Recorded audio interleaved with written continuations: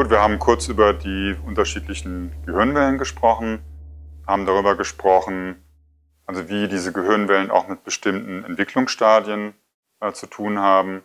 Also der Delta-Zustand bei kleinen Kindern 0 bis 3 Jahre, na, dann dieser Theta-Zustand, wo man einfach alles glaubt, ne, zwischen 3 und 7.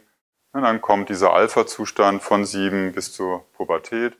Und ab der Pubertät, dann mit der Geschlechtsreife, äh, fangen die Beta-Wellen an. Ab da sind wir eigentlich nur noch in Beta-Wellen unterwegs. Und trotzdem können wir uns noch dran erinnern, also wie war das vielleicht, als wir so ja, mit zwölf Jahren da unterwegs waren, gespielt haben. Und wir erleben das eigentlich auch jeden Tag, wenn wir aufwachen, dass wir aus dem Alpha-Zustand langsam hochkommen in den Beta-Zustand. Haben uns diese Einheit angeschaut, Gedanken pro Minute, und haben gesehen, im hohen Beta-Zustand, also ne, fährt das Gedankenkarussell wie verrückt. Je weiter wir runterkommen, desto weniger Gedanken pro Minute kriegen wir. Im Alpha-Zustand wird es immer weniger. Und dann mit dem Eintritt in den Täterzustand null Gedanken pro Minute. Dort sind wir vollkommen in der Präsenz, vollkommen in der Wahrnehmung, entweder unseres Umfelds oder auch unseres eigenen Körpers. Und das, habe ich ja schon gesagt, ist, der, ist das Tor, ist der Eingang zu einer vollkommen anderen Welt. Also dort, wo wir im alltäglichen Leben die äußere Welt erleben, fangen wir dort im Täterzustand an, diese innere Welt zu erleben.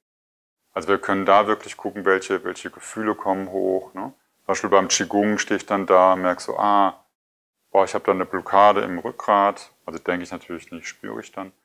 Und spiele dann so lange damit rum, denke, ah, das ist der Wirbel vorher, das ist der dahinter, bis sich auf einmal diese Blockade löst und dann entsteht, wird vielleicht ein Gefühl frei. Also ich fange auf einmal an zu weinen oder eine ganz große Traurigkeit oder vielleicht kommt auch sowas wie Aggression hoch und dann merke ich so, oh, auf einmal ist das Gefühl weg und die Blockade ist weg und ich denke, ah, ich spüre, wie ich mein, mein Rückgrat wieder vollständig wahrnehmen kann. Und ähm,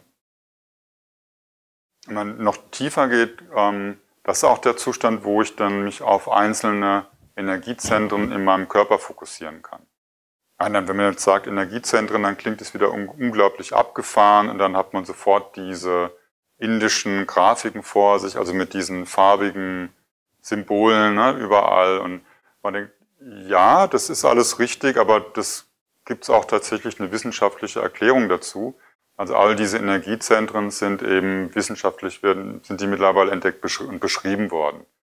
Und ähm, so wäre praktisch dieses Wurzelchakra ist wirklich der Beckenboden, also ist unsere Verbindung zur Erde, wo ich merke, wenn ich in der Hüfte beweglich bin, dann habe ich diesen, diesen Bodenkontakt, der extrem wichtig ist für alle Sportarten, beim Kampfsport, auch beim Tanzen, ne, die Beweglichkeit in der Hüfte. Dann habe ich das, was die Chinesen das untere Dantchen nennen, also sind die, ist die, sind die Verdauungsorgane, ähm, wo ich auch jede Form von Fremdenergie aufnehmen und umwandeln kann. Auch das intuitive Wissen kommt aus dem Bauch. Ähm, Wissenschaftler haben herausgefunden, dass also in den Verdauungsorganen im Darm also mehr neuronale Verknüpfungen existieren als im Gehirn dass zum Beispiel ähm, der Serotoninhaushalt im Gehirn sehr, sehr viel mit unserem Darm zu tun hat. Also wenn ich eine Störung in den Verdauungsorganen kriege, äh, erzeugt das eine, eine Störung im Serotoninhaushalt im Darm. In der Folge habe ich eine Störung des Serotoninhaushalts im Kopf, das ist das Glückshormon. Ne? Ähm, also Solarplexus ist praktisch das, was uns auf Angriff, Gegenangriff, auch, auch ein energetischer Schutzschild sozusagen. Ne? Ähm, das ist tatsächlich ein Nervengeflecht, das auch entdeckt wurde. Und auch die Erfahrung habt ihr schon gemacht. Also wenn man in einen Raum reinkommt, ah, weiß nicht, die letzte Sitzung ist vielleicht ein bisschen schräg gelaufen, da war richtig dicke Luft und man kommt dran und merkt wow, also hier ist echt eine Spannung im Raum. Man merkt richtig so, wow, also Leber, Galle da unten, ne, so direkt unter dem Brustkorb, Brustkorbansatz, da zieht sich was zusammen. Und dann muss man nur gucken, aus welcher Richtung das kommt. Und dann steht wahrscheinlich noch ein Mensch mit hochrotem Kopf und denkt so, ah, okay, der ist sauer, alter Schwede. Das können wir tatsächlich körperlich wahrnehmen. Das ist die Funktion des Sodaplexus. Ah, da stimmt jetzt was nicht, da ist jemand aggressiv, okay, dann reagiere ich drauf. Also entweder versuche ich wegzukommen oder wenn der jetzt näher kommt, dann gehe ich sofort in Abwehrhaltung. Dann das nächste wäre das Herz. Und das Herz hat tatsächlich ein, ähm, ein eigenes Nervengeflecht. Ne, also alle anderen Organe sind ja abhängig vom autonomen, vom vegetativen äh, Nervensystem.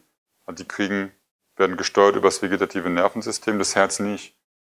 Also bei der ähm, Herztransplantation kennt man das Phänomen, das Herz wird entnommen und schlägt weiter. Was eigentlich nicht sein dürfte, weil ja das autonome Nervensystem dafür zuständig ist. Aber das Herz kann trotzdem weiter schlagen, weil es ein vollkommen eigenes Nervensystem nochmal in sich trägt. Und das ist tatsächlich auch sehr interessant.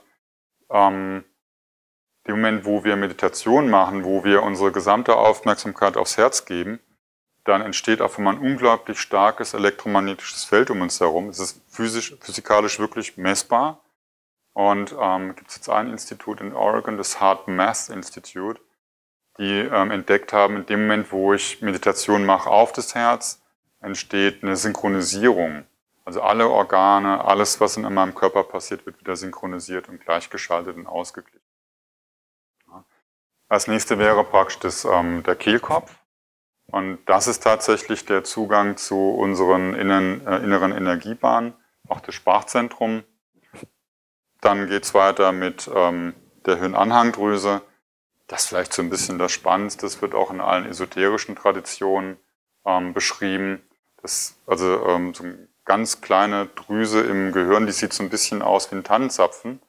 Und wenn die anfängt zu feuern, dann passieren spannende Sachen.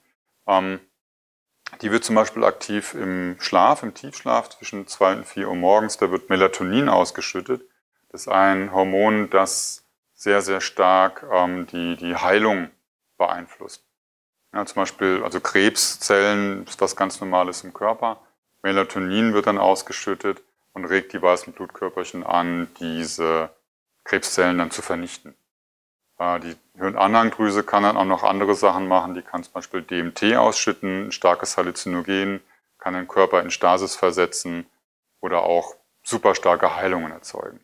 Und das ist nur so ein bisschen, so ein kleiner Überblick, was dieses endokrine Drüsensystem so kann. Und eben eine tiefe Meditation im Täterzustand, die öffnet praktisch das Tor in diese Welt.